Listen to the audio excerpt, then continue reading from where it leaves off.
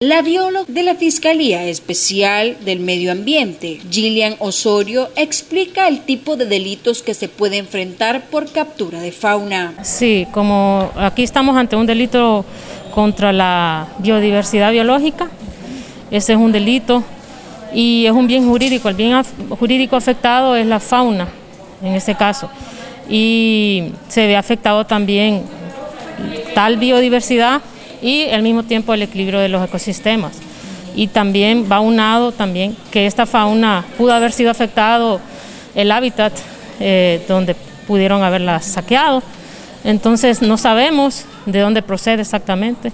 Se supone que iba eh, eh, en tránsito desde Tegucigalpa hasta Choluteca y su destino final no estamos seguros todavía, pero tal vez eh, lleguemos a, concluir hasta dónde iba la fauna, ¿verdad? Pero toda la fauna, no sé si les explicó la colega del ICF, son herpetofauna.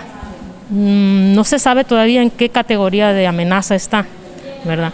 Pero sí eh, hubo una detención y, pues lo demás está en, en, investigación y se presenta hoy el requerimiento. A su vez, la bióloga detalló en qué área se catalogarían ya que si son alrededor de 50 especies, este incurriría en delito.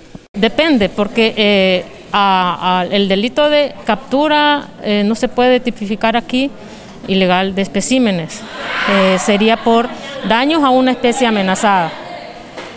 En el proceso, los especialistas sacarán su dictamen para luego conocer la cantidad exacta de diversidad de especie y después reubicarlos en sitios adecuados a su hábitat. No, lo mismo, ese, solamente que si, se, si está eh, como agravante, si está amenazada, esta especie se, se, se, se pone como agravante el delito, ¿verdad? pero eh, eh, procedimiento normal de, de cómo es es fauna silvestre, entonces eh, su, su tenencia tiene y la comercialización también por la cantidad de especímenes que es más de 50 de diferentes especies, es un delito.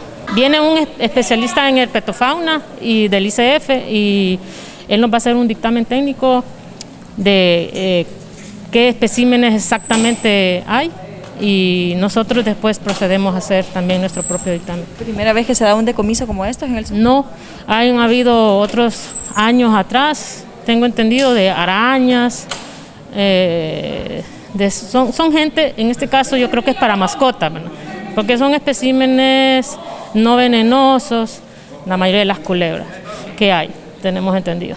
Más que todo para exhibición. También puede ser para un, para un centro de exhibición zoológico. Para Metro TV Noticias y la 107.5 Radio Ilusión informó Cristina Costa.